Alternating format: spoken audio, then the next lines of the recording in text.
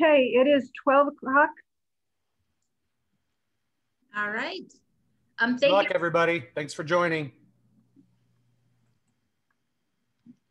Thank you for joining us today for the AAF Omaha Professional Development Program, the State of Digital Media.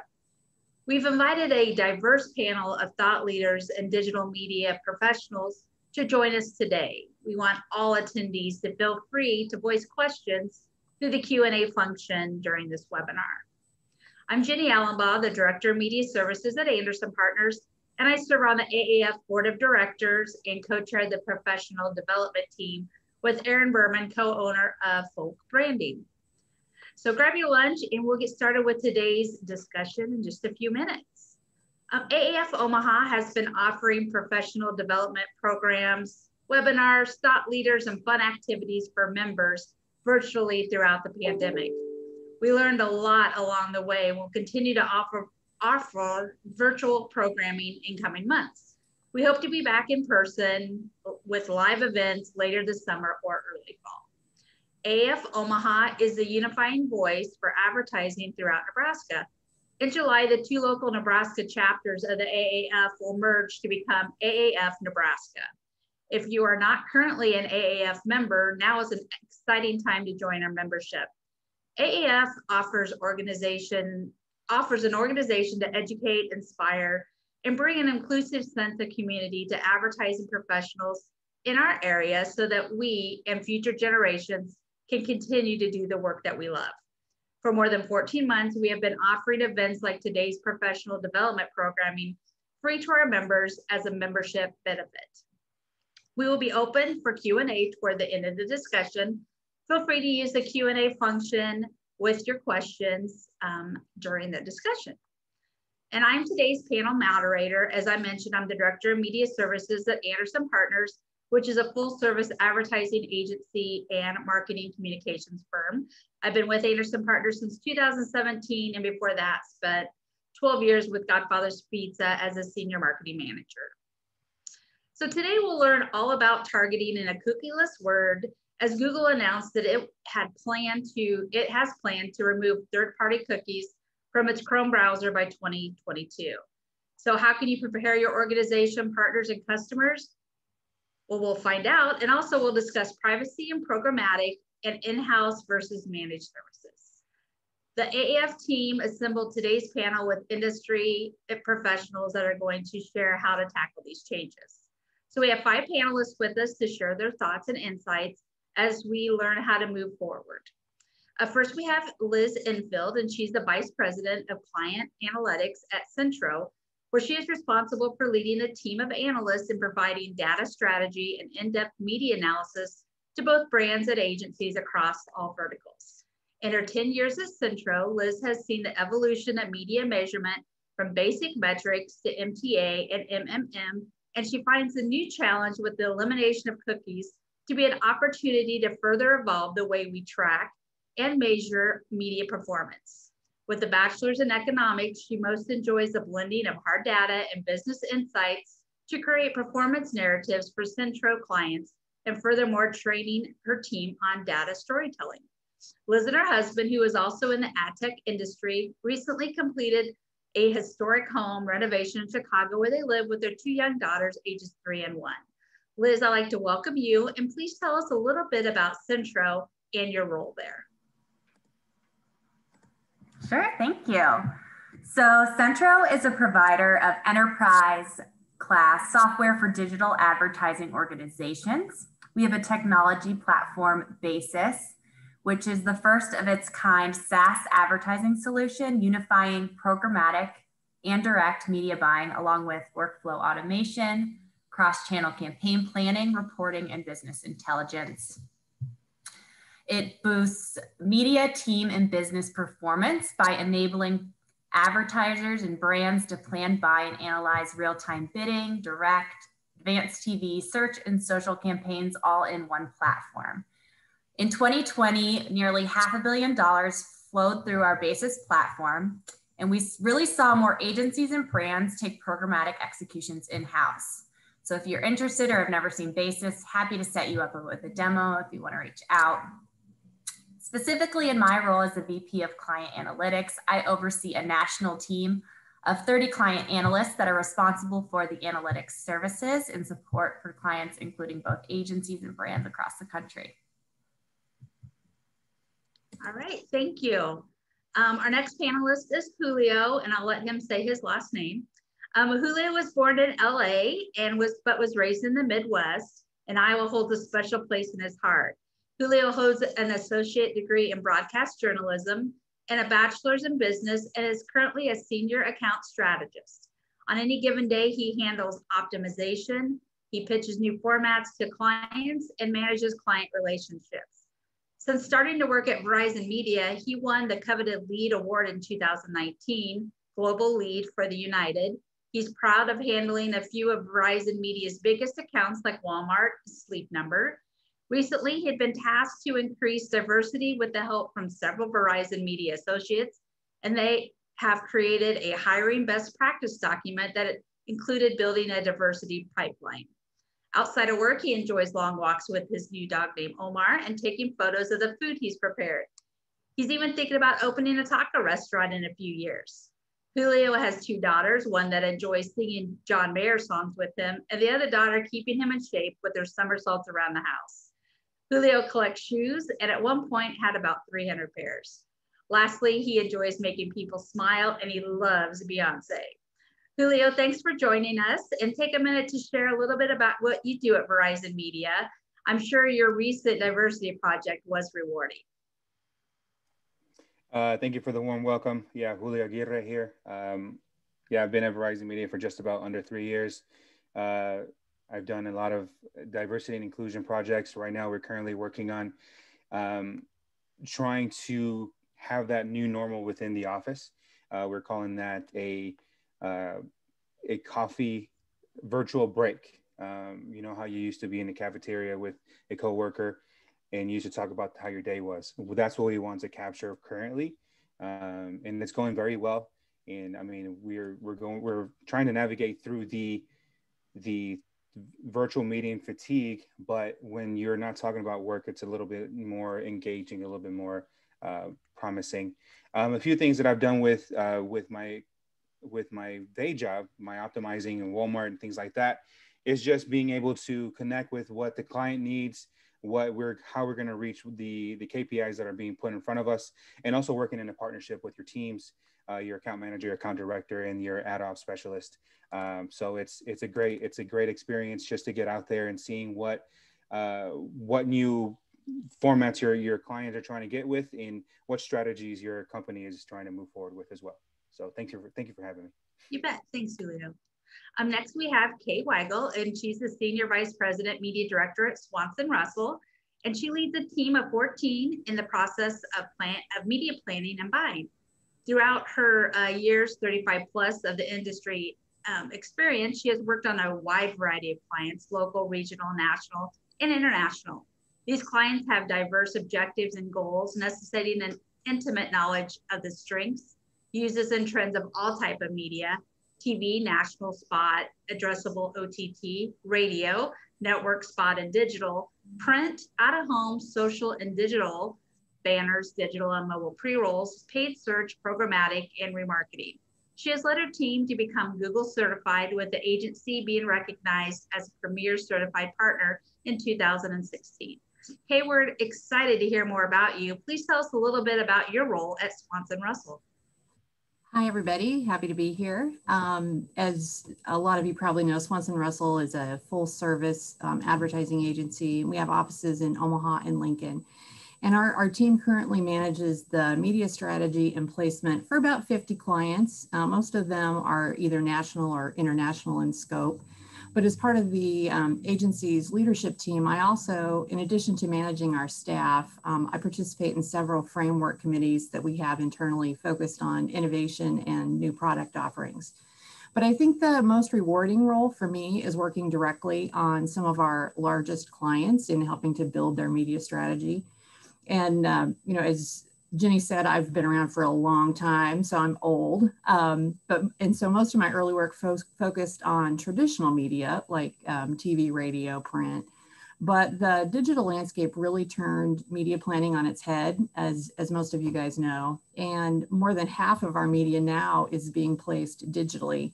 And so while it's made the work a lot more challenging, it's also made it a lot more exciting. Um, you know, every day is different. So the, the constantly evolving offerings of the digital space, I think have really increased the importance of the media department. And honestly, it's it's made our work a lot more rewarding. So I'm I'm excited to be here today. Thank you, Kay.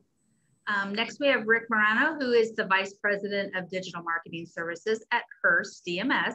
He's responsible for the success of the LocalEdge and InView digital business. Under Marino's direction, Hearst DMS provides a full suite of powerful online marketing services to thousands of businesses across the country. He has driven industry leading performances through evolving technologies in the digital marketing space. Working for Hearst since 2010, Marino's large team of digital strategists have combined continuous research and development the power and reach of the Hearst Corporation with online technology for optimal marketing campaign results. In 2015, Rick developed and launched a new digital agency under the Hearst umbrella of digital marketing agencies. InView Digital has experienced significant and consistent growth since inception by providing expert level digital marketing services to mid-market businesses and larger SMBs across the country. Rick, thanks for joining us and tell us a little bit about your role at Hearst. Yeah, th- thanks, Jenny. Um, like, like Jenny said, uh, Vice President of Digital Marketing. I, I, I, pretty much spend my entire day uh, focused on helping small businesses to mid-market businesses navigate the uh, digital marketing landscape. Um, uh, everything from, from search engine optimization to search engine marketing campaigns, social media management, uh, programmatic, reputation management to website design and development, um, kind of a full suite of products and services um, that, that really help a small business um, market themselves, but also market themselves efficiently and, and, not throw their entire budget away. Um, that's that's my biggest challenge and something that I'm always thinking about and keeps me up at night is how can I take that $1,000 a month budget or that $500 a month budget and, and make it go as far as possible for our, for our clients. Um, it's, a, it's a great challenge and, and something that, that I truly am focused on and passionate about. Thank you. All right, thanks, Rick. And then um, our last panelist, Dave Smith, is the Senior Director Advertising Operations at Verizon Media. Dave began his career in Atlanta in research, marketing, and sales promotions for the local Fox affiliate. He moved to CBS station sales and spent eight years selling spot TV with a focus on General Motors, Hyundai, and McDonald's. In 2009, he relocated to Omaha to begin his career as a national sales executive with Yahoo. Now spanning over 12 years, he has held a variety of roles, including international assignment in Dublin in 2018 and 19, where he relaunched and centralized the account strategy team supporting Europe, Middle East, Africa markets. In 2019, he returned to Omaha as head of advertising operations and global services for Verizon Media, supporting all markets for committals and bookings, order management, creative trafficking, optimization insights, and billing, billing reconciliations across managed IOs and programmatic platforms. He lives in Dundee with his wife and three children and is happy to be back in Omaha. Dave, thank you for joining us and please share more about with us about your role at Verizon Media. Well, thank you, Jenny. It's a pleasure to be here. Uh, I've been very fortunate uh, with my career at Verizon Media because I've been able to really tap into uh, a bunch of different avenues of our business. Uh, not to mention, we are all so blessed to work in such a dynamic industry as digital media and digital online advertising because it's always changing. Uh, and it's certainly true with Verizon Media. For those that you of, for those of you that might not be completely aware, Verizon Media came about with the merging of Yahoo and AOL assets. Uh, so combined with those media assets, an exclusive partnership with Microsoft uh, as well as a full stack DSP and SSP ad platform. We're servicing business uh, globally uh, and have really been well positioned to see this massive migration from managed IO to programmatic. Uh, we've been instrumental in adopting new ad formats and making sure that digital out of home as well as CTV and advanced TV um, supply has a room in our DSP. Uh, in addition to the advertising operations functions, I also lead our, lead our global so services business, uh, which is based out of Bangalore. And we've got roughly 200 people in Bangalore that are servicing all of the global markets. And this includes functions from ad operations into optimization services. We just launched a global account services initiative where we can provide full account service to any global market that's looking for uh, some assistance or some relief because we're at that point now where we have to really begin to be a little bit more strategic in how we segment our business because as the business changes, so do the service models for that business. Uh, so it's been exciting to play a role as we revisit what that uh, service model looks like both in the US and international markets. Great. Thank you, Dave. Um, now that we've met all our panelists, let's get started with some questions. Um, our first question we're going to direct to Liz. Um, Liz, in terms that for those of us who may be not familiar with cookies, can you explain exactly what cookies are and what it means to go cookieless? And then you can also add, what does that mean for Centro? Sure. So cookies are like unique IDs or third party cookies and other browser and mobile specific identifiers really allow advertisers and ad tech companies to track users across websites. And this is order in order for them to um, serve relevant ads and track performance. And then there are both first and third party cookies that collect user relevant information and similar data However, the data they're collecting and how they're using it is just used in different purposes. So really first party cookies are considered mostly harmless as they're used to enhance a user's site experience and they're not considered considered intrusive, whereas third party cookies are controversial that's really when we're talking about the death of the cookies, we're really focusing in here on third party cookies, as there's more in many instances of privacy infringement in the um, just use of personal data that people don't realize is being collected. So going cookieless really just boils down to users demanding greater privacy and transparency, including choice and control of how their personal data is used since privacy is really a consumer right both marketers and consumers need to be protected and the, these impending regulations really have the intention to respect the consumer's privacy and for us all to be really honest with them. So consumer privacy has really been loosely regulated in the past. It's really been done in good faith. Um, and we've had nothing really in place in our industry to like reprimand companies for up, um, operating unlawfully. So um, there should be no fear around the demise of um, our cookieless future. It's really an opportunity to um, be more honest with our um, consumers. So it's it's very clear that the web ecosystem needs to evolve and meet the, the user demands of these of privacy needs. Um, and until there's really any government regulation in place, large com companies, um, really like web browsers, are taking it upon themselves to really enforce this change. Um, at Centro, we believe we shouldn't be exploiting any of these loopholes and we should really be respecting consumers' privacy. So we're trying to find the right balance between scale and privacy as there's really not a one size fits all solution to replace the cookie. So some of the things we're doing is leveraging machine learning in our Basis technology. So this uses artificial intelligence and privacy approved data across uh, about 30 parameters to decide um, how much to bid on an impression. So this tactic can improve media performance all without using cookies or infringing on any audience's privacy. We're also ingesting anonymized data sources. So utilizing sources such as the US Census, American Community Survey, North American Industry Classification um, Systems to really strengthen localized insights and allow for smarter decisioning to improve performance and really eliminate any wasted impressions.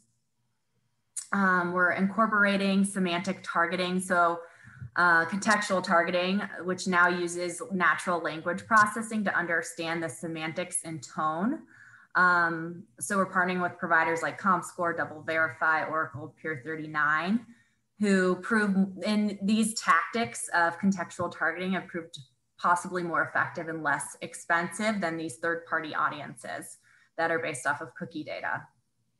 Um, we've also evolved our performance tracking since we can't track um, across channels. Um, so while we're offering interim solutions like cookieless conversions for click-through conversions, we're guiding our performance shifting to illustrate media performance more, more fully and thoughtfully with customer data platform data, site analytics, and brand lift studies.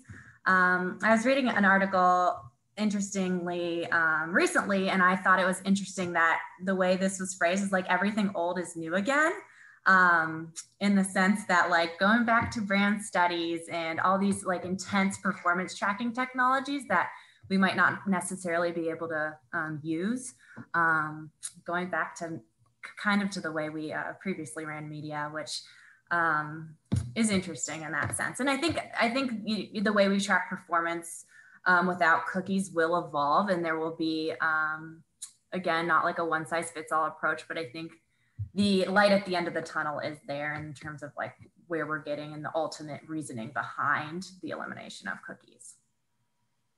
Thank you. Going with that, um, Rick, are there new technologies that will need to be embraced or how will that how will yeah, that, that sure that it's it's evolving fast. Um, and and like liz said uh, there there really is no one size fits all solution. Um, there there's going to be different approaches um, that, that we need to kind of properly understand test and combine in order to to maintain that that same level of ad effectiveness. Um, but again, also what Liz said was was old is new. I I, really like that because that that's how I feel a little bit about it, especially with this this next point. There's there's an opportunity to partner with publishers um, who have really strong first party data. Yeah, and it's kind of like how we used to do it, right? You would you would look for a, a website that, that made sense um, to your brand and had the right audience, and then you would place the ad on that website. Um, that's really coming back in play. It's just going to be even stronger now with programmatic and AI. Uh, back in the day, you didn't have that. You would just, you know, place a media buy and, and put your display out on the website and hope for the best. But um, now there's so much more technology and, and, the ability to, to track and improve, automate, automate ad improvement um, is just going to make that even better. So, um, you know, that's important. Many publishers have have gathered significant data on interests um, of subscribers who go beyond their paywalls. And, and really, as third party cookies meet their demise, publishers are going to make the most of that information. Um, I work for a publishing company. I, I, work for Hearst. We have newspapers and TV stations and um, a lot of different media sources and magazines all over. And, and and that part of the business is really growing because we have first party data and, and, that's the type of information you can use to really target audiences. So finding publishers to partner with is really important. Um, looking for strategic ad placements on sites and channels um, with a viewer that closely overlaps with your target audience um, is going to be important.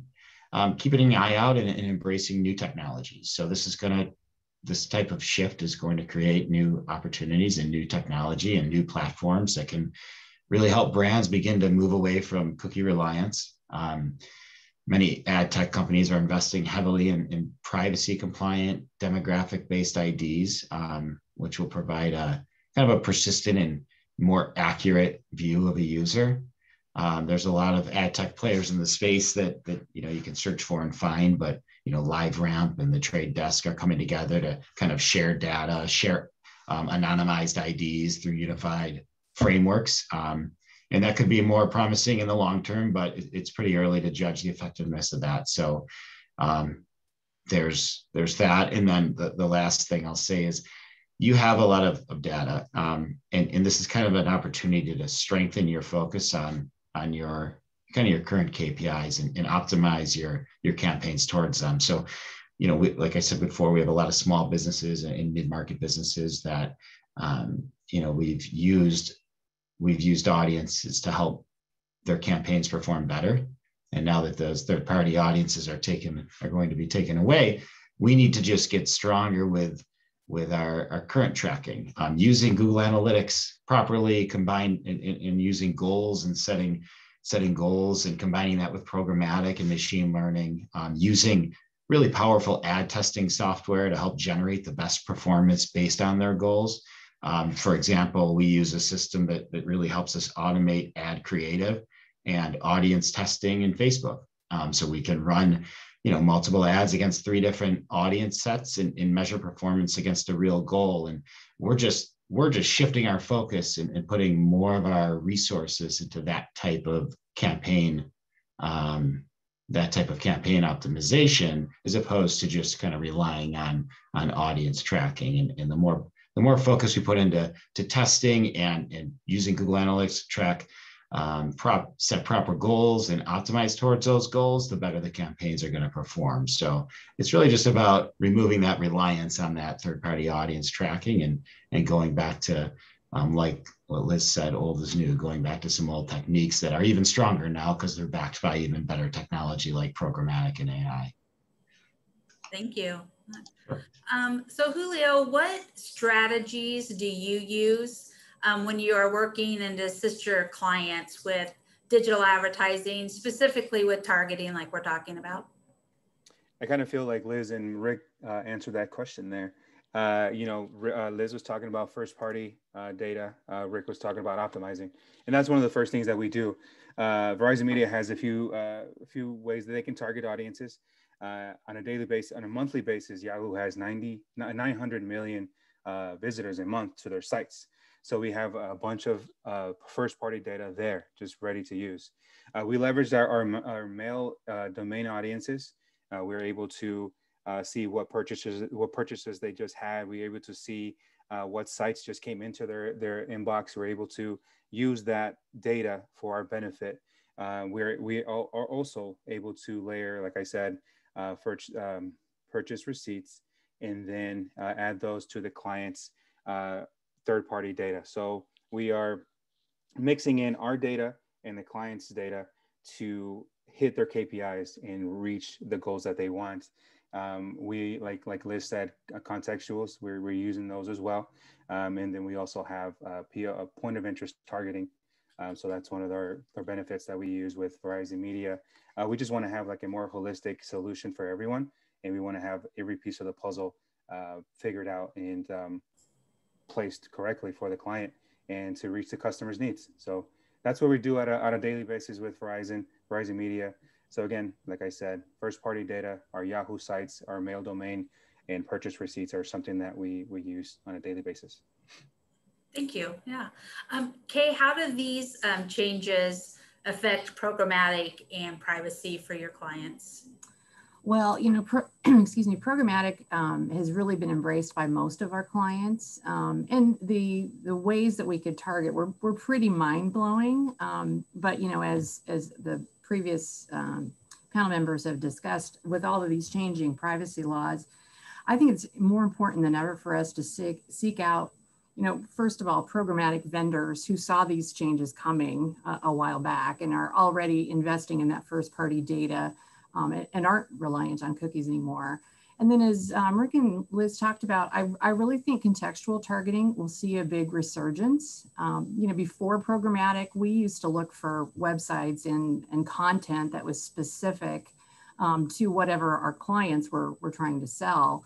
Um, for example, we have quite a few clients that sell agricultural products. So, you know, when we when we started using programmatic, it really was an affordable way for us to add a lot more impressions but we typically saw better performance um, from a click-through and conversion standpoint on those endemic sites anyway. So um, I think it takes it takes some more time to research those specific sites and and those vendors who have those first party uh, data relationships. But I, I, think the results will potentially be even better down the road. Um, and I also think the change in privacy laws also increases the importance of our clients and, and all businesses um, in building their own databases. So, you know, if, if your website visitors opt in for future communications, you can target those past visitors um, and, and current customers through digital advertising, including over the top TV and, and social and, and a lot of those different things. So um, while I think the efficiency of programmatic um, advertising is still available. Um, by doing that, you just aren't reliant on the third party data for targeting. Uh, and Kate, look, I'll add because you touched on something that I think is important, which is, you know, when you first moved to programmatic and you were looking at where you were actually seeing performance uh, conversions or click-throughs from your publishing partners or, or, you know those sites that were you you were using for your campaigns. Um, as we get more and more focused on privacy across the country uh, working with partners that have a very sophisticated and robust consent management platform becomes really crucial especially to all of the agencies that are really sticking their necks out for their clients. Uh, and it's important that you're you're looking at partners that you can trust because uh, you know when when you start looking under the rug at at fraudulent advertisers, domain spoofing, all of the little tricks that people do. Um, having a, a, a really solid consent management platform is going to help agencies build that trust with their clients that that you know they know where they're placing their ads and and there's a certain amount of trust there. That's very true. Um, and dave can you share um, optimization insights in regards to the digital advertising? Yeah look it's come a long way right uh, from where we were just looking at click-throughs uh, you know site sent traffic conversions. Uh, but we we help support teams like Julio's teams um, and you know various account management account strategy orgs across our company and we're looking at everything right it's it's age gender it's day parting we look at uh, cross screen where we can track frequency uh, and uh, that movement across screens whether it's you know again ctv mobile devices digital out of home, uh, as well as all of the the de- desktop traffic that we've got. Um, but we're we're also looking really closely at that bid waterfall, right? When you've got so many um, buyers in the marketplace, it's really important as we're trying to optimize towards performance and pacing uh, that we understand uh, how that bid strategy is working with the associated audience segments or different optimization levers that we may be pulling to drive that that performance and and look when we talk about optim, optimizing campaigns it's it requires a, a little bit of finesse because you know you optimize towards performance and usually you're sacrificing delivery or uh, you know campaign pacing and then you go back to campaign pacing and you want to get that back up because the, the advertiser needs some scale. And then you see a little drop off in your performance. So it's a stair step, and you're constantly looking at those permutations of, again, signals and levers that we can pull to be able to drive that.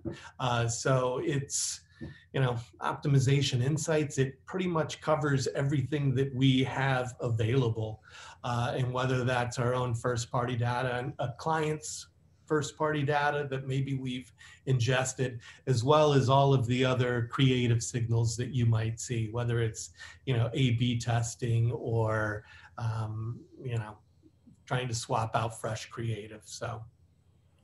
Thank you. Um, one of the things that, you know, you guys have kind of touched upon a little bit is like with in-house versus managed services. And so actually I'd like to hear all of your thoughts on, you know, how is it best to manage and how do you get the best out of your agency and when is the best time to use a managed service? Um, so Liz, if you want to start with that and if you have any thoughts. Yeah, I think it depends on um, the skill set and the ultimate goal of the agency or brand. I think a lot of people are, are um, especially in the pandemic, we've seen so many people wanting to in house and take things in house, which is wonderful. Um, and I think um, agencies and brands are really wanting to own that and have that experience. And um, we're also having the talent now of you know, digital media hasn't been around for so long, but that talent is growing and that pool is growing, and people want to own that and pull the levers themselves. Um, I think the best way to go about it is usually have like a hybrid approach and start off by managed services, slowly hire up, have use use a, a platform or an agency that can work alongside you to help train your own staff members to get them where they needed to go. Um, that is something we've seen a huge surge in um, in Centro and using our platform. We have managed services and self-service, um, and we have this hybrid model where people can um, originally start off with managed services, and then we have a team of customer support um, specialists who really let them in-house it long term and transition that work um, to the agency or brand because I think most agencies and brands really want to really do want to own that. It's usually like a one to two year approach. I feel like though, from when they originally decide that's the way they want to go to actually fully seeing it fleshed out. Um, it's not something that you can just quickly in-house. I feel like I think I think it needs a phased approach, but I, I, I think it's the smart way to go long term. It's interesting. Kay, do you have? I mean, as working in an advertising agency anything to add add with that? Yeah, I mean, I, I think there are benefits to both. Um, you know, we we use managed services currently, um, and it gives us the option of working with different vendors whose tech, you know, one one vendor's tech stack might be a much better fit for a certain group of clients, and then another uh, vendor's tech stack is a is a better fit for others. Um, I think the other advantage is they take care of the optimization for you. That said, you really need to keep an eye on the performance and, and make sure that, that that vendor is optimizing, um, you know, hour to hour, day to day, whatever. Um, and I think if you're thinking about bringing programmatic in-house, the toughest decision is trying to figure out which platform to use, right? I mean, there are so many out there. Um, so a lot of due diligence is really needed to figure out what the best fit is for the majority of your clients. And then you also have to, you know, as Liz said, you also have to staff up for that to ensure that you're you're spending the time that's necessary to optimize. And then, um, you know, finally, you need to take into consideration what is the the cost of that software um, subscription. Is is it a monthly? Is it a one time? Whatever. Um, and then you need to figure out how much you how much you can save on those buys as compared to how much you can upcharge to to cover those costs um, and and make sure that it's it's working from a financial standpoint as well. That's very true. Um, Rick, anything to to piggyback on with that? Yeah, yeah, I would say that um, when working with an agency, don't try not to just um, rely on the on the agency to do it all. Um, I know it sounds obvious, but make sure you have somebody on, on your team that's very close and engaged with the agency. Um, try to understand the economics of an agency. The, the agency's margins are, are usually razor thin. Um, that savings is passed down to you, but that also means that you're not going to have one person that's spending um, eight hours a day looking at your campaign. Um, they have other work. They're an agency. Um, and the more our best clients are the clients that are that are totally engaged with us. And and, and just give you an example, we when we run a, a, great social media campaign, it's it's because the client is uh, helping us um, understand their brand, um, helping us develop the content together, uh, providing images and videos from their operation that we couldn't otherwise get. Um, agencies and, and, strategists on agency teams don't know everything about every industry. Um, they they know about their industry. They know how to run a great social campaign. They know how to run a great um, search engine marketing campaign but they might not know exactly you know every every um, piece of your business. Um, so the we, we have clients that are, are very disengaged and, and those campaigns just don't perform as well. Um, so you know, think of them as an extension of your team, and they'll they'll perform so much better for you and, and you'll be much happier with that. And and I and I say that because sometimes clients think, well, I, I'm paying this money, so I don't have to worry about this at all. I, I shouldn't be engaged. I don't need to give anything to them. They should do it all. They should build the website. Um, they should write the content. And, and they can. And agencies will do that. We'll take it and we'll do it. Uh, but man, it really performs great when when your team is also involved with the agency as like a partnership. And I know that sounds obvious, but it's just not always the case. Um, Julio, anything to, to add to what we've been talking about? Yeah, I think I think everyone hit the hit said the same thing. I think it's just building a partnership with the agencies, what they want and what the client wants on their side. Uh, on our side here in Native, we uh, Verizon Media, we walk our clients and agencies through every step of the way, how to optimize, what to look for, what reports to run, it's a real true partnership and i think that's how you gain one loyalty and that's how you gain trust from uh, the agency. So on our side again it's just uh, building that partnership building the um, what the client wants to do and wants, what they want to move forward with just to give them the ability to have the keys to drive that car right? Um, just so they when they see a um, an issue with their account and why it's not spending they can see why. They know where, where to go and get the answers. Um, and that's how they come back with another client. They come back with more more i guess more budget too. That's the way that we grow our company internally and externally because you have that loyalty. So. Thank you. Uh, dave i'll let you take it anything else uh, well, look, to everybody's point, it is extremely expensive and challenging for anyone to talk about taking their programmatic buying in house if they haven't already. Like it is an uphill climb. And even what Julio said was that, yeah, we've got a lot of people and large teams that are invested in onboarding clients. But yet, that doesn't replace Julio's role or an account manager's role because it takes forever for these clients to onboard. Uh, because as we're onboarding them, the landscape is changing, right? there's like we're talking about cookieless world this is new tech uh, that we're using to be able to you know either provide an omni-channel solution or, or cross device uh, you know audience graphs it is incredibly complex now for those advertisers that maybe have simple goals simple kpis yeah, maybe they could manage that sort of like they've thought about bringing their search engine optimization in house, which is far less complex than what uh, the rest of programmatic looks like.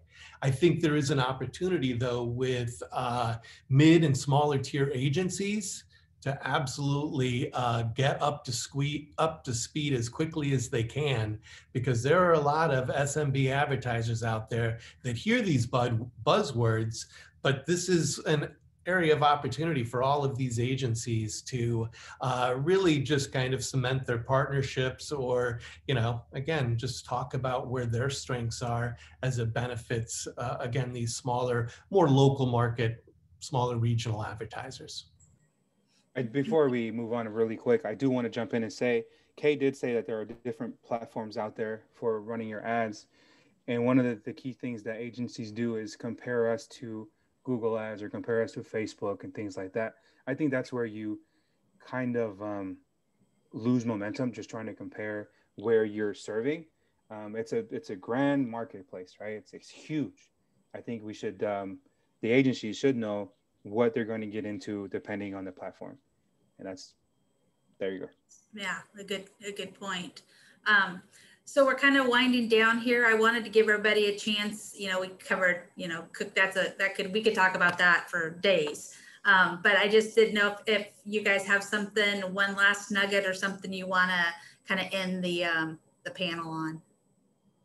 Whoever wants to go.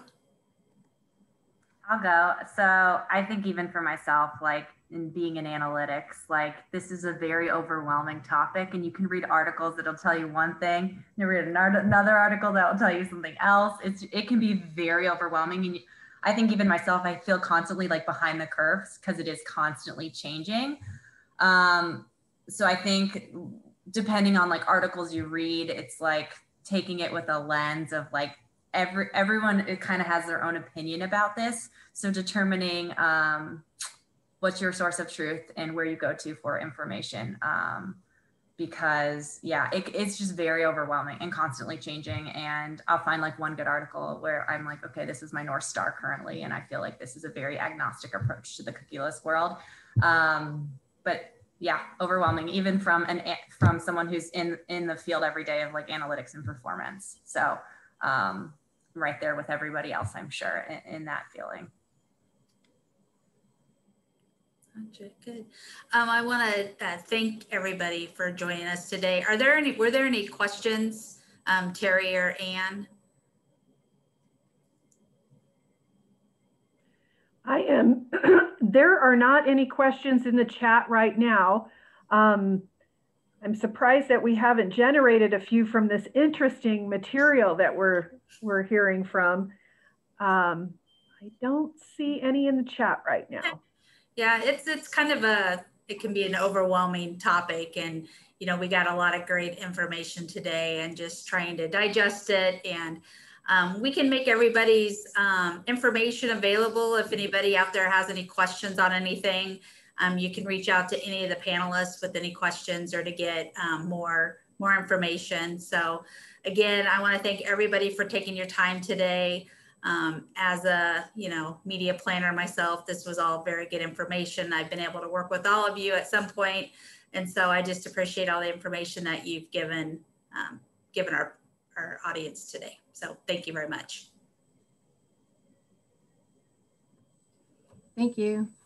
Jenny, Kay, Rick, Liz, Julio, and Dave, thank you for taking the time to join us today and for sharing your insights. Um, I'm sure your uh, insights and your thought leadership has been valued by everybody attending today. I'm Daryl Anderson, the creative director for Clark Creative Group and AAF Omaha's current president.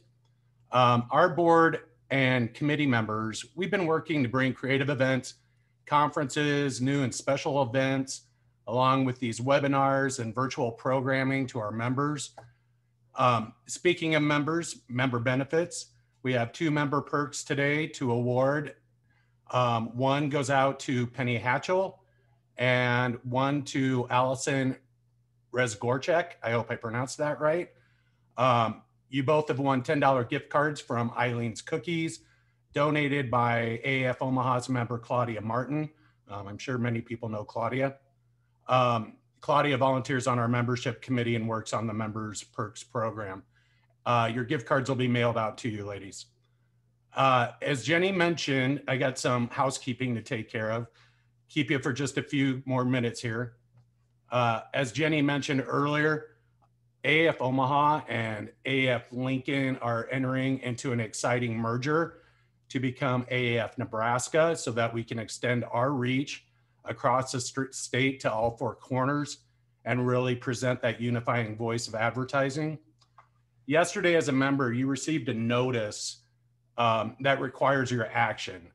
If you are a member, please return your vote to approve the name change from AAF Omaha um, to the American Advertising Federation of Nebraska, AAF Nebraska.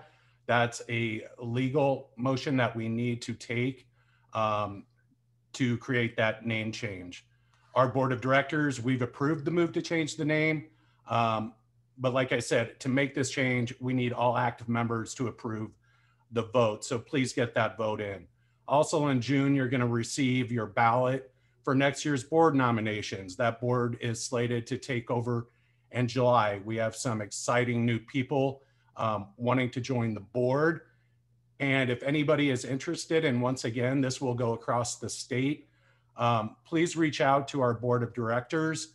Uh, Terry Hamburger is also uh, willing to take any nominations that you may have. We have eight committees, and each committee has up to five uh, spots on their committee that can be filled also.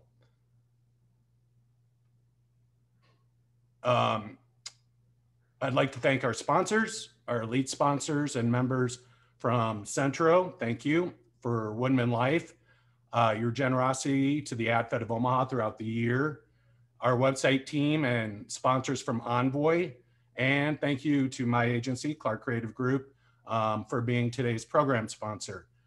Mark your calendars for some upcoming events. These events can be found at afomaha.org as well as uh, aafnationals.org, aaf.org, and afomaha.org. Um, a couple of the events. Uh, May 27th, Nationals is hosting a caffeine chat series um, with IBM Watson Advertising and Grace, Grace Murphy. Uh, she's the brand strategy leader and will be presenting the programming, and it's free uh, to AF members.